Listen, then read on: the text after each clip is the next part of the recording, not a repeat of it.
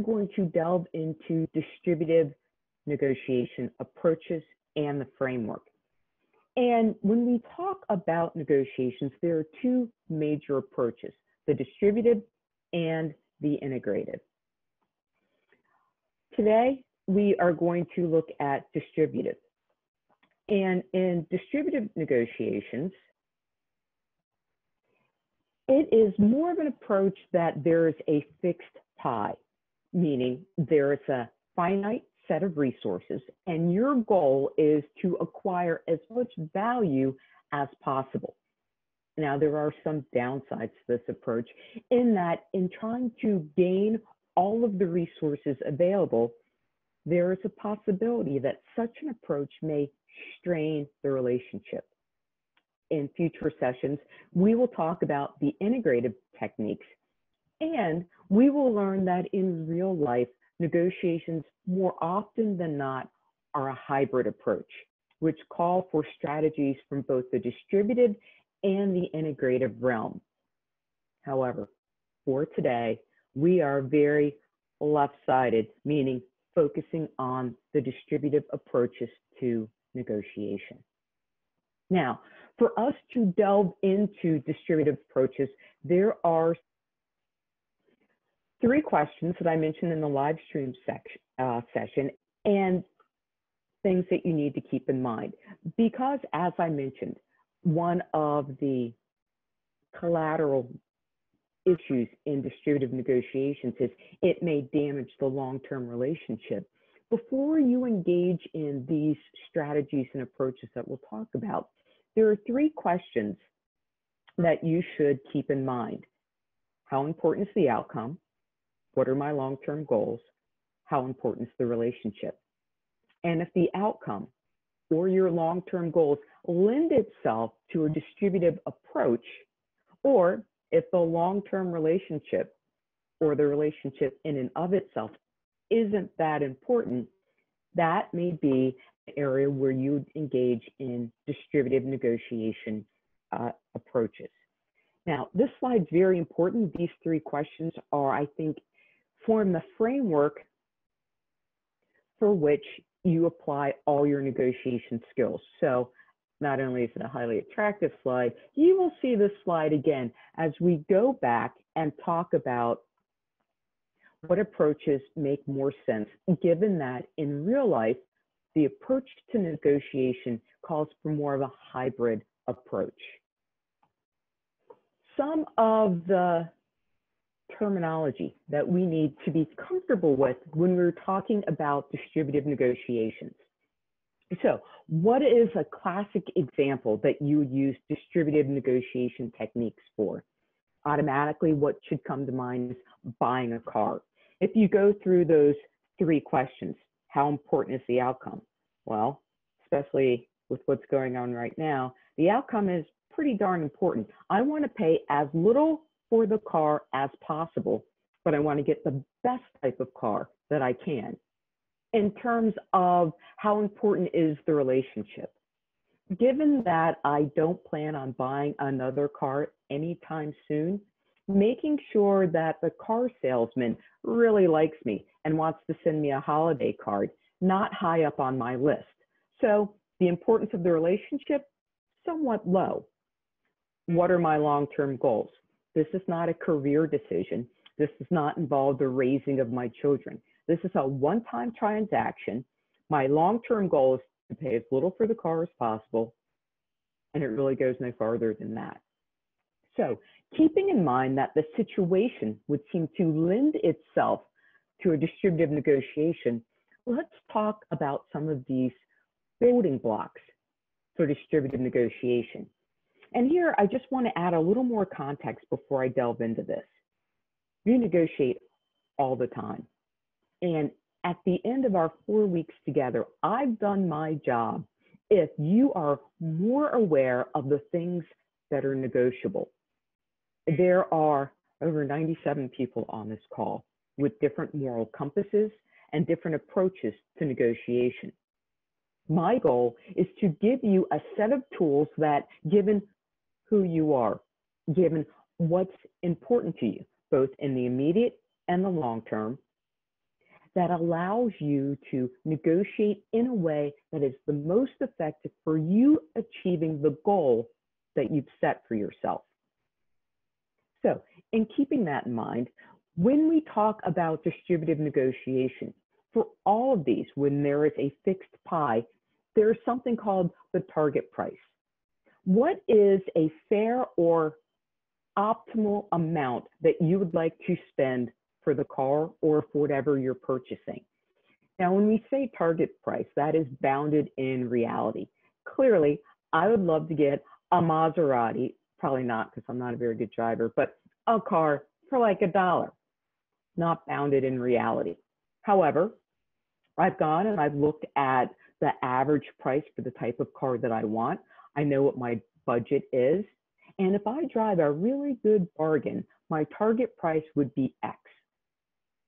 So when you go into a negotiation, what is the target price or the amount that you'd like to spend? How far above that target price, in my case, let's say I see the car and I absolutely fall in love with it. What is the most that I would spend for that car? That is your resistance or your reservation price. And what that means is $1 below that amount would force me to go to a plan B. I've run the numbers, I know what my budget is, and if I can't get the car for X amount, that is the highest I can go, then my plan B is I continue riding my bicycle everywhere I go. Going into each negotiation, you should have a target price and a resistance price. The asking price will be, hmm, what is the initial price set by the seller? When I go into a car dealership, there is the manufacturer suggested retail price, and that has a tendency to start the negotiation. And the settlement point is where we end up. So in a kind of conceptual way, these are the building blocks that go into every distributive negotiation. Where would you like to come out? What is the highest or lowest, depending on what you're negotiating over, that you would go? What is the initial offer? And where do you end up? So, in putting it into practice, um, we are not a dog family. However, I was looking for an example that's a little more interesting to me than a car. And what I've been amazed about over the pandemic is the number of our friends and people in general who are either adopting or purchasing pets.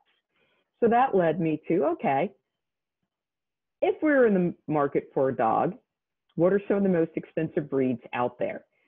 Lo and behold, the Pharaoh Hound is a pretty pricey dog.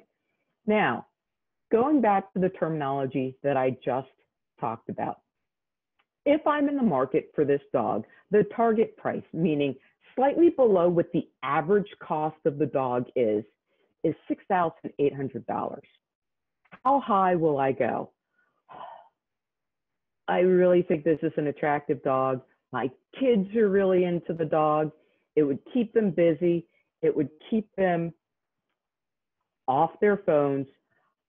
Okay, the dog has a lifespan of 20 years. I would go as high as $9,000. So going into a negotiation, I've identified my target price of where I'd like to come out. I've identified the highest I can go. If the seller says, Stacey, I will sell you the dog for $9,001, that has exceeded my reservation or my resistance price. The two terms are interchangeable. That will trigger my plan B. If I cannot get it for $9,000, I will go to the pound and get for free whatever dog they have left. So when your reservation or your resistance price is triggered, it requires you to engage in what's called the best alternative to the negotiated agreement or your BATNA. What is your plan B? As we get into advanced skills and strategies, the stronger your plan B is, the more confidence you bring to the table. And a quick example of that. uh, in March, it was college decision time, and you had a lot of seniors figuring out if they got into their top choices. What I saw, and my niece was going through this process, is once she got into a pretty decent school, so she knew she was not going to be living in her parents' basement for the next four years, her plan B was pretty strong. Her ideal school she hadn't heard back from.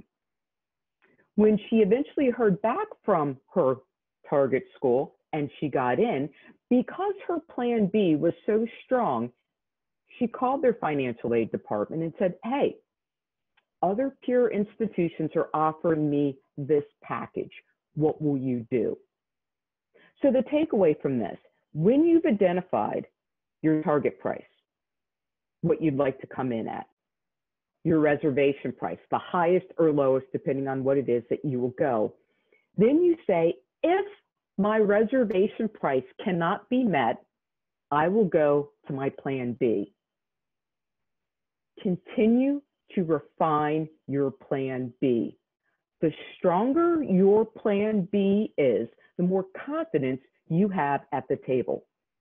If my niece had not gotten into any other school, the confidence or the ability to contact the financial aid department, she would not have been willing to enter into because she had no other option. So continue to refine your plan B. And the stronger that is, again, the more confidence you can bring at the table. So you've now identified your target price and your reservation price in real life, the other side is doing exactly the same thing. And in session three, when we break down how do you plan for negotiation, we will spend a lot of time on this. Oftentimes, people's preparation for a negotiation focuses on, okay, I really wanted this dog and I don't want to spend more than X. If I can get it for less than $9,000, that's a win. And that is the mindset that they go into the negotiation with. Effective negotiators spend some time stepping into the shoes of the seller or the person they're negotiating with. What do I think their target price is? What do I think their reservation price is? Now, you can do general research to get a vague idea but one of the most effective things is once the negotiation begins, fight the urge to verbally vomit all over the other side. What do I mean by that? When people, and I get this with my kids all the time, when people enter into what has become increasingly negotiations with them, they feel that they must convince me that they're right. When you go into a negotiation, there's a ton of information you don't know. As I go into this negotiation about this hound, I know what I'd like to spend and the highest that I will go. What I don't know is about the other side. Spend time in the beginning part of the negotiation asking questions. How many dogs do they have? How many have they sold? When is the next litter? These things will give you insight into what their potential target or reservation price might be. Have we decided that we put a ban on all dogs coming from other countries? And you know that this dog comes from Egypt. Okay, you learn that piece of information. So now the only hounds available will be the ones currently within the United States. Oof. Okay. Now I am mentally recalculating. All right, I might be closer to nine than the $6,800 if all of us are fighting over. And then I'd ask, well, Betsy, how many hounds are currently in the United States? And Betsy said, oh, well, there are only 300 hounds in the entire United States. And with airline restrictions, whew, you can't take a pet on a plane right now. And in Maryland, yeah, there are two. That has dramatically increased the amount of information I've had It's resolved some of the ambiguity and it's helped me to adjust in that spectrum of 6,800 and 9,000 where I may be ending up. So when you enter into negotiations, resist the urge to inundate the other side with a flood of information. And trust me, I like talking about myself. So it's a challenge with a flood of information about yourself. Your goal, and the research supports this, effective negotiators spend time asking questions about the other side. You want to get information that will help you glean what is their potential plan B if you don't buy the hound? I now know that there are a ton of people who want them and there are only two or three in Maryland, so they can readily find another buyer. You find out more information about them. So strategy or approach number one in distributive negotiation, after you've identified your target price and your reservation price, spend time trying to figure out what their target price and reservation price might be. Now, my approach to negotiation is very much informed by my prior occupation as a litigator. So asking lots of questions isn't hard for me. What's really interesting though is from the background of the people on the call, we have people from several walks of life who are good questioners. If I go to a doctor's office and with my health insurance, I've got like 15 minutes, within five minutes, they can ask detailed, directed questions to figure out the source of my ailment. So, this ability to ask questions, to ask good questions, is a skill that we already have. What I'm asking you to do is direct that to negotiations. So, You've identified your target price, your reservation price. You've asked, you've identified what you believe their target and reservation price has been, and then you've jotted down some questions that you want to know the answer to to find out more about them. After doing that, and yes, it would be beautiful for you if they said, Hey, Paul, my uh, target price is I'd love to sell it for eleven thousand dollars, but I'm willing to go as low as seven thousand five hundred. Well, guess what, Dorothy? You're not in Kansas, and life doesn't work that way. So they will never, especially if they're good negotiators, reveal to you what their target and their reservation price is. However, through the art of the question, which we will delve into next session, you have gleaned enough information to get a general idea of where they might be. Now, what's interesting here is if you look at the, at the seller's target price, the buyer's reservation price, the seller's reservation price, and the buyer's target, you see that both sides, anything between $9,000 and $7,500, both sides are open to making a deal. Now, when I say open to making a deal, the cool way to refer to it would be the ZOPA, Zone of Possible Agreement. Now, oftentimes uh, my students will say, well, Professor Lee, I ended up being closer to 9,000 as the buyer than the 7,000. Does that mean I came up with a bad deal? No. Was it within the range that you're willing to purchase the dog? Yes. So I don't want you to think that if you don't maximize the absolute lowest price that you've gone with a bad deal. What is important to me is that you've thought through the negotiation enough such that you don't feel pressured or caught up in the heat of the moment and end up buying the dog for $11,000. Come on, people, it's a dog. Anyway, by asking skillful questions and using successful negotiation techniques. The goal for the buyer is to get the seller to enter into an agreement as close to the 7,500 as possible. Conversely, if you're the seller, your goal is to get the buyer as close to that $9,000 mark as you can. Now, in reality, the $9,000 will be unknown to the seller. And in reality, the 7,500 is unknown to the buyer. However, by asking questions, you can get information to figure out where on the spectrum the, the negotiation may end. All right, so that's me walking you through a scenario. How I would like for you to use the money count negotiation. There's a role A and a role B. And for the most part, a lot of you on quarantine say you should have time to do this sometime before next class. If you could find someone and do the negotiation, that would be great. Now, I'm not throwing you into the deep end. You don't have to negotiate now, but I will walk you through.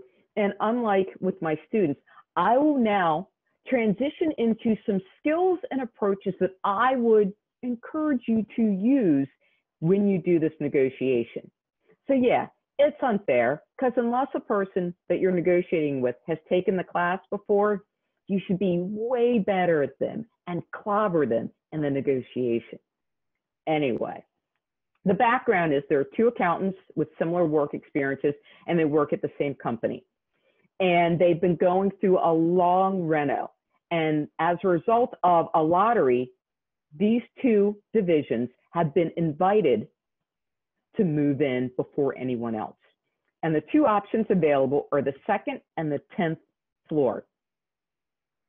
Going back to distributive negotiation, in this negotiation, we were talking about a fixed pie. There's the second floor and the 10th floor. Both floors have the exact same layout, nine conference rooms, 85 cubicles, coffee stations. However, the 10th floor is the money floor. That was kind of funny. That is where you want to be.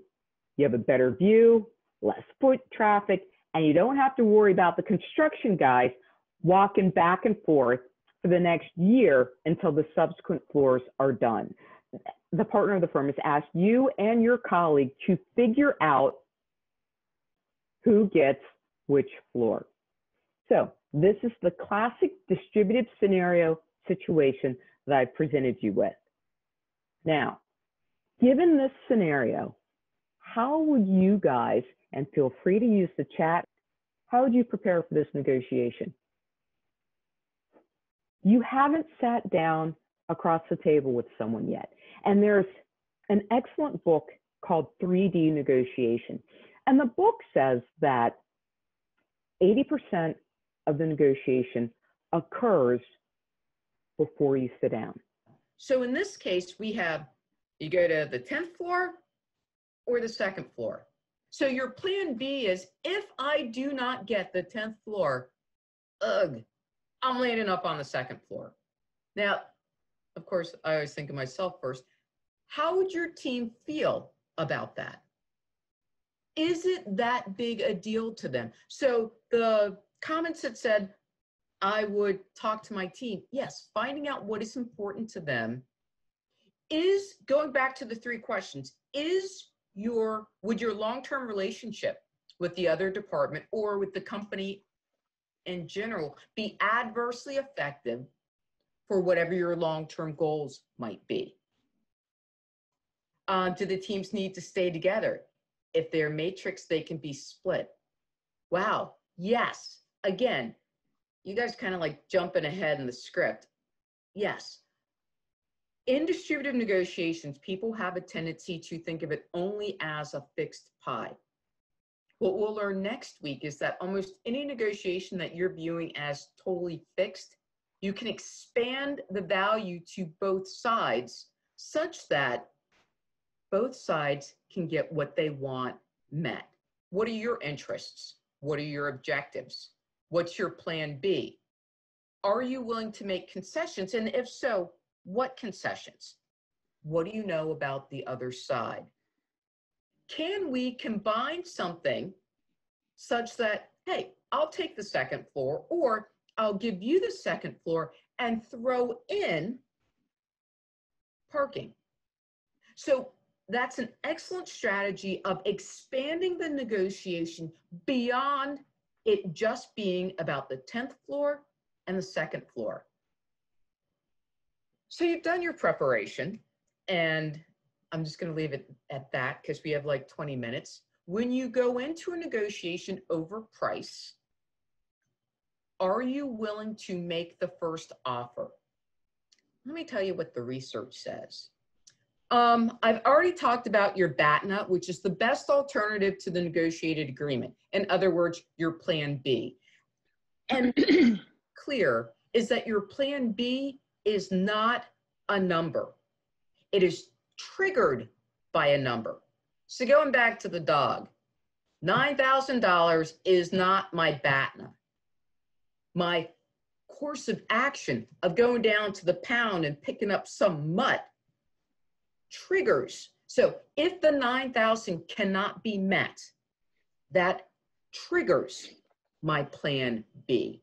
So the more robust, again, your plan B, and that thing should exist outside of the negotiation. Me going to the pound to get the dog is outside of the conversations I am having with the seller or the breeder. Okay, and again, the strategy here is the more robust. You just found out that some one of those hounds showed up at the pound. The more attractive your plan B is, the better I am at driving home or asking for what I want. Now, if you remember, I told you that when planning for a negotiation, you should identify your target price of what you'd optimally like to spend and okay, I know I won't go above or below this amount. Taking it back to the dog. All right, I don't want to spend more than $9,000. What's interesting is going into a negotiation, people have a tendency to fixate on anything less than $9,000 and I've done well. That is the poor, that is a poor target for your negotiation. Go into a negotiation fixated on your target price. And the research says that when you do that, you have a tendency to increase your gains by 40%. And the easiest uh, analogy I can give you is for my students, they need a C to pass my class. However, if you've gone to Hopkins, you know that they're a bunch of super achievers. So a C is the reservation or the resistance price.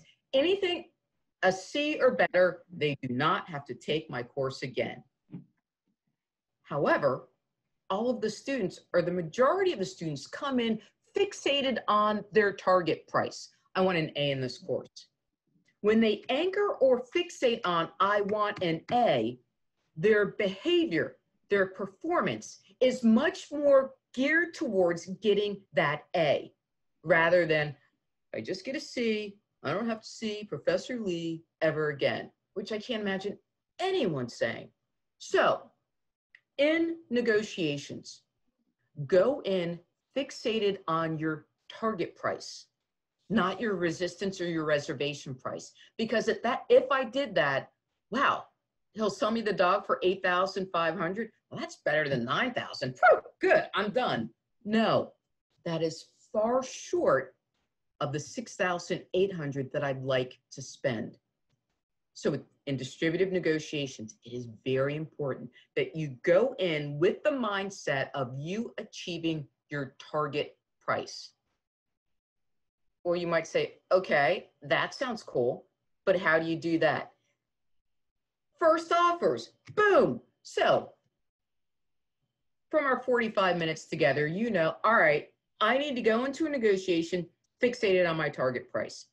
How do I do that? She's already said, ask a bunch of questions. And what do I do? The best way to make sure that you end up in the realm of your target price is to anchor the negotiation. And I recommend anchoring the negotiation by making the first offer. Now, let me clean this up. When do you make the first offer? If there's a ton of information that you do not know, but you're, and you've asked questions at the beginning of the negotiation to clear up some of that unknown, and you still don't feel that you have enough information to make a credible first offer, then don't. But if you've done your research, and you have, you know how much these hounds go for. You know, the average price, this is true, the average price is like $8,000, which is just comical to me, but whatever. And you know that you will go up to 9,000 you don't want your first offer to be within your re reservation and your target price. Your goal is to negotiate into that zone. If I'm open to anything between $6,800 and $9,000, my initial offer, which I encourage you to make, will not be in between $6,000 and $9,000. I want to negotiate into that range. So my initial offer would be, hey, Simone, you got a couple of these dogs. I'll unload one for you. Uh, I don't know. You got like cool stuff on the wall behind you. I like your glasses. Um, yeah. How about 6,500? My goal is to negotiate into the range. Now, a couple things, and this is just strategy free of charge. People listen until they hear the answer that they're looking for. So as soon as I say the number, 6,500, Simone, just like in the Peanuts cartoon, wah, wah, wah, wah, wah. Anything that comes out of my mouth after that, she's not paying attention to. So if I want to explain my justification for this amount, I'm going to front load explanation first. You know, I saw your dogs. The mom's kind of ugly. She's got like a weird toe. I don't know if dogs have toes. A weird paw. Uh, they smell kind of funny. I don't know, whatever. I'm not a dog person. So, because I like you in the uh, 45 minutes you've spent together, I'll give you, say the number, 6,500. Then, folks, after you've said your number, shut up. There is nothing that you could say after you state the amount that's going to bolster or improve. If anything, it conveys a lack of confidence and a further need to explain. Explain first, say the number, and then be comfortable with silence. Because Simone, she's not even smiling at me. I say 6,500 and she's just going to stare at me. And the research says, and this is a little more gender specific, females have a tendency to be very uncomfortable with that silence. And what can happen is, I mean, Simone, I mean, I said 6,500, but I mean, I could, I could go up and then with her saying nothing, I begin to negotiate against myself. We don't want to do that, folks. So I'm going to say the offer. Simone clearly still isn't going to smile, but I'm going to sit there and my kids have shown me how. I've gotten out my phone. I've practiced my selfie mode. I've got this total look of serene confidence as I wait for her to react. I've now attempted to anchor the negotiation at $6,300. Of the range here, I would like the conversation to hover around here. When you anchor the negotiation by making the first offer, a weird thing happens in people's brains. The research says that when I say 6,500, Simone's brain is going, how in the world did she come up with that number? And she begins to go through a mental exercise to either draw out all of the negative qualities of the dog that would justify that or try to make sense of it, which is a beautiful thing because her subconscious is doing the work for me. Now, Simone's taking a negotiations course and she's like, yeah, nice try. So I said 6,500 and she sits there. Hmm. what, and I usually give my class a little quiz at this point, when someone anchors the negotiation before you got a chance, what do you do? How many people think that if someone sets an aggressive anchor, that it is a good thing to ask them to explain how they came up with that number? Yes or no? Um, how many people think it makes sense just to get up and walk away? How many people think it makes sense to make an aggressive counteroffer yourself? All right, folks, here's the deal. In terms of making an aggressive counteroffer yourself, that very much depends on who you are as a negotiator. There are some people who like to negotiate the way I like to play tennis. I whack it across the net and I like it when it's whacked back to me. If that is the tone that you want to set for the negotiation and that works for you, go ahead. Make um, walk away. If your BATNA or your plan B is so phenomenal, then yes, drop the mic and in a dramatic fashion, get up and walk away. But if your plan B is not that good, I don't recommend that course of action. Another option is should you make a joke, which is my personal favorite because it plays to my personality. Now, ask them to explain. No. And why is that a wrong answer? It is a wrong answer because when you begin to ask questions, you're engaging or entering into that person's reality that on some level, that number is a credible one. So don't do that. In situations like this, if someone anchors the negotiation high, Simone's like, mm, $17,000. I'm not going to ask her to explain it. However, a very human need is the need to feel heard and understood. I respect Simone regardless of her initial offer as a human being, so I'm not going to ignore her. I'm going to give her eye contact, huh, and I'm going to acknowledge that she said something and that I received it. I'm not going to repeat the number because, again, that gives it weight. At this point, I would attempt to re-anchor the negotiation. So in response there are 17,000, and again, it needs to run through the filter of, wow, how important is this dog to me? How happy will it make my kids? I would have, if I'd done the first offer, I would have started out at 5,800, but wow. If she anchored at 17, and this is how good strong initial anchors are. All right, I'm going to counter 7,000. I've already now countered with a number that is far above what I would have said if I'd made the first offer. So keep that in mind. Some people like to give ranges. I'm not a huge fan of ranges, but if you give a range, that range still should be considering how important the negotiation is to you, how strong your BATNA is, as close to being outside of your initial reservation price as possible. All right, concessions. What are you willing to give up in the negotiation? And the beautiful thing about concessions and going into a negotiation, I think it is important to have what am I willing to give up on? And concessions are kind of like dinner invitations. So, uh, Roberto invites me over to dinner.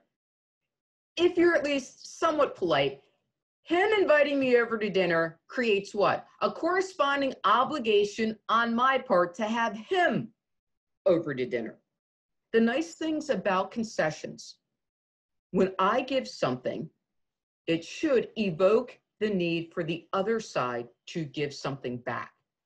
And concessions and the strategy behind them is it helps to establish trust. In my negotiation with Simone, the first five minutes, I would make a concession, a small one, to establish trust and rapport, give her some information freely in the hopes that she would then share something with me. That begins to establish a level of trust. If I give something, it sounds like, yeah, thanks. Well, then I stop making concessions. Do not make unilateral concessions. But it does open up the negotiation to start in a very different footing. I tell my students this, and then we will sign off for today. I never have someone, I never have their attention so much as the first five minutes of class. It is within those five minutes that they figure out is this class going to suck or not? Do I really have to come to class? Am I going to get anything out of it? After you have made those mental calculations, the remaining semester or eight weeks is just a fulfillment in that role. If during a negotiation, I can make a unilateral, I mean, I can make a concession and open up that I am a trustworthy, open person, and the person responds, that gives us the ability to negotiate in a very different way than the vigorous game of tennis back and forth. And the best way that I can uh, talk about this is I'm not a hugger. I, you know, I hug my kids, I hug my family, but I'm just generally not a hugger. Whenever I, and I have a joint appointment over at the School of Public Health. Of course, with the pandemic, this will no longer be a problem. There are some people that are just huggers There are some people that you walk over and before you know it, I'm like, holy cow, what just happened? My arms are around them and I'm hugging them back. How'd that happen? It happened because when they approach you with the honest openness of, hey, how you doing? It is human nature to respond in kind, even if it's not your natural inclination. As we begin to unpack negotiation strategies and approaches, I really will focus on the magic first five minutes in a negotiation. How can you, and do these work all the time? Of course not. Does negotiation work all the time? Absolutely not. If it did, I wouldn't have been a litigator for 10 years. However, making a small concession at the beginning of a negotiation very much signals to the other side, I'm trustworthy, and I'm open. And that openness could be I'm open to having a result that allows both of us to meet our goals. Hopefully, I will see you next week. See ya.